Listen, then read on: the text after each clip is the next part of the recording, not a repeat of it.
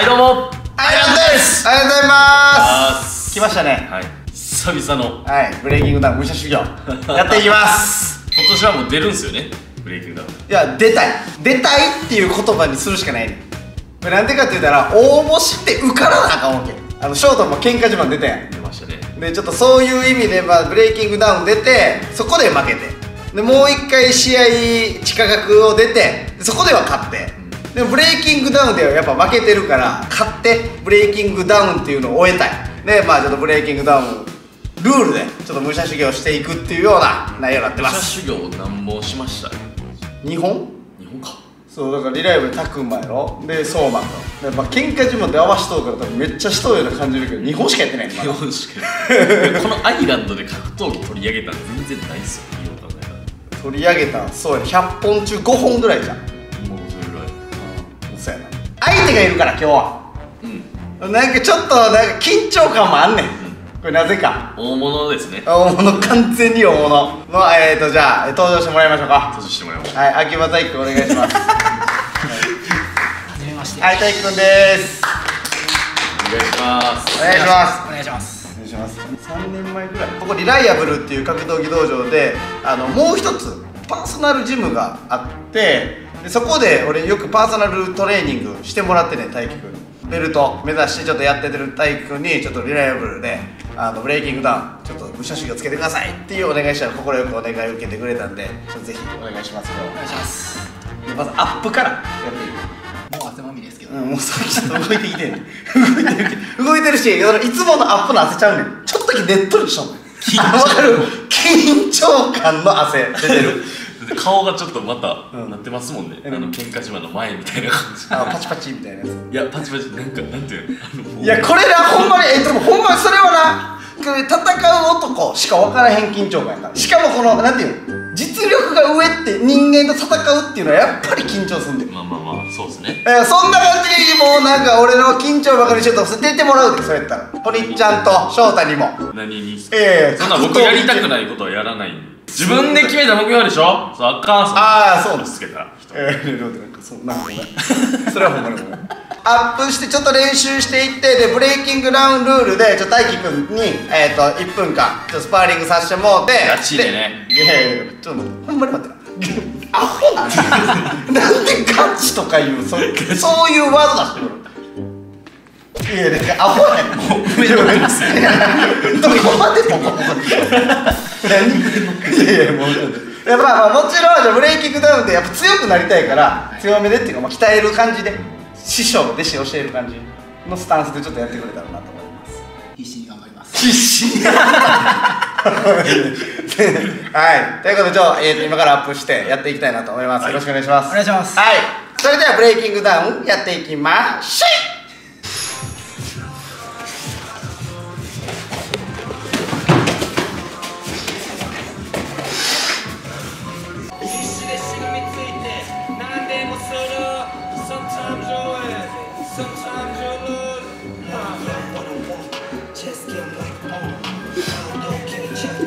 泣いたら負ける。って言うとだけど涙出る。もんしゃあないけど話出てる。話出てきた火ってこといい何何どうした何が大丈夫え、これ KO したら終わりですか。ルール的に言うと、一応レフェリー的な感じで終わった方が。うです記事聞いてきとるけどどんなルール伝えたえバトルロワイヤル出身？KO せなんか変えられへん。何？これこれでバズらんかったら俺はもう死ぬ。俺はもう YouTube せこれでバズらんかったらもう。KO されまって帰りまってーほんまに俺がやって。これバズらんかったら俺はもう YouTube せえ今から1分間ですね。もうどどんな感じのあれでいくんですか？バチバチ殴り合う作戦で、速攻タックルに行って、決めに行きます。あ、オッケー。です勝ちに行きましょう。お願いします。やってくろタックル行くとパスタックル行くとパスちょっと何惑わしてんの？いやマジ。そうや 切りましょう。切ります。切ってるめちゃめちゃ切ってるわ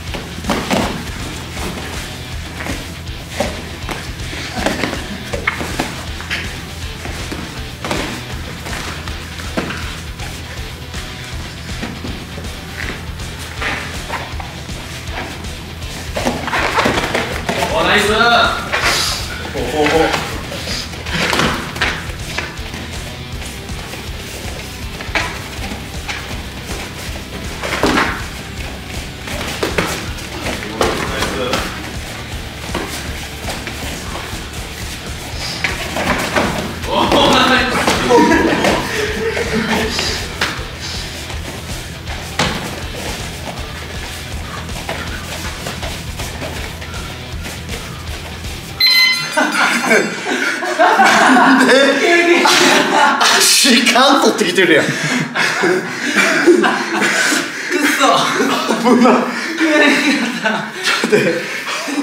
醤油マジやったありがとうございます。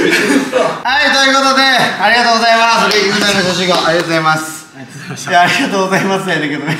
足感 鬼の打撃で来る思っとったのに。まあ取っていいか分からんけどなんか親親指こうなったんかな？足の足の指で 親指をこうこうなった瞬間にねあれ？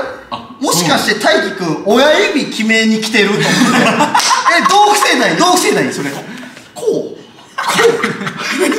みたいな。感じでもうわけのわからん感じでなんかとりあえず一発過ぎてったって感じだったの。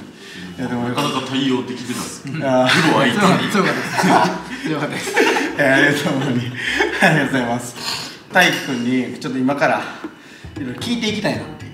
はい。このブレイキングダウン武者修行って、うん。まあ、いつも毎回いろんな質問してるじゃないですか選手に。ね、でこう出てくださってる選手も、こうなんかちょっとでもみんな知ってもらえたらっていうような感じでやってるんで、まずちょっと戦績聞きたいですあ11勝10敗1分けです11勝10敗1分あ勝率55%とかそういう感じもんですね。しかもレベル高いところでめっちゃ戦ってるんですよね、最近まあでも後半はって感じです成績の前半の方はやっぱ関西大会で戦っててその後半ぐらいからその東京のんナンバーシリーズっていうファンクラスの大きい大会に出れるようになった。ね。そのパンクラスもちょっと試合一回見てほしいけど爆発力的なもんがあるの分からん俺これ素人的なものやねんけどなんか戦ってて相手グンって効かすやん。さっきもそうやってんけど一発あーってなった時にこの詰め寄り方みたいな感じそれは俺も食らったことあるし動画でも見たことあるねんけど多分そこの詰め方っていうのが結構トップランクなんちゃうかなと思うねんけどその僕もその動画見たかもしれない今から？詰めていくやつそうそうそう気がやばくてそう、その動画見て、俺さっきそれされて、なんかバーってやった時にちょっと当たったやんか。おって、おってバランス崩して。バランス崩して、なんか知らんけど、その間6発ぐらいずーっと思ってる。その爆発力をちょっとみんな見てほしい、俺は。あのさっきなんかちょっと怖いですね、あれ見と それぜひ皆さん見てください。そんな大輝くんがでも負けたりするっていうようなレベルのところですもんね。今で言ったら体重の階級の名前がフライ級フライ級の56.7キロの階級です。で今3位にいる3位です。それに日本で一応世界の団体のチャンピオンとかも入ってきたりしてるんででも一応パンクラスは世界ランキングっていう風にはしてなくて。ん。パンクラスランフライ級ランキング。ああってことは3位ってことはあと上位2位3位一。1位あと2人いたチャンピオン。ああ3人おるんやああそういうことか。あえー、2ってことはもうもうすごい。すごい。めっちゃすごい。でもフライ級。ごめんなんかちょっと待ってなんか俺俺そんな人？そうねいやいややめてくださそういうことチャンピオンオン以外はもうみんな僕の中では同系列なんであ1位も2位も3位も、まあ、順位も一緒やで。チャンピオンがやっぱもう全然違うんですただの数字なんですよ。チャンピオンだけが形としてものをなるほど。確かそれ以外は一緒。に本質的やな。確かにそうやね8位のやつが1位よりも弱いかっそうじゃないですよ、うん。強いやつがいっぱいいるんですよ。うん。やってみないと分かんないんで、結局はやっぱチャンピオンになって全員を倒して防衛してることがやっぱ最強であって。今そのファンクラスのチャンピオンを今年も目指していくってことですそうですねかかみんなここ出てくださってる選手って最後は死ぬ気で応援したくなるんですよ。うん。でもそれ 俺格闘家の人結構見とるけどあのこんな真面目に格闘技に真剣にやっと男っておるんかなって思うぐらい。普通にその応援してもらえる人ってめっちゃ多くなると思うんだけどこれから。もだからなんか大輝くんってさ応援されるような男にななんか男の人やなんかなんていうの、考え方とかや生き方みたいなのが応援されるような人なんやなってめっちゃ感じる男です。はい。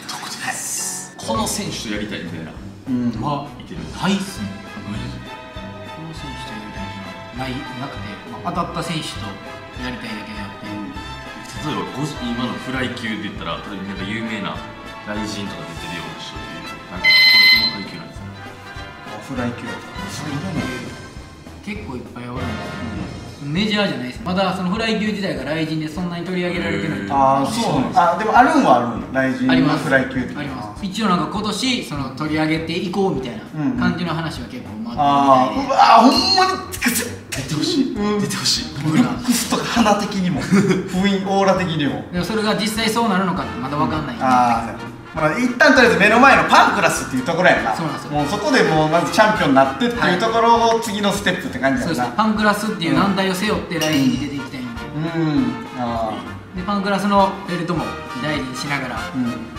ライズの方も目指していうんって、強いやつと戦っていきたい。なっていう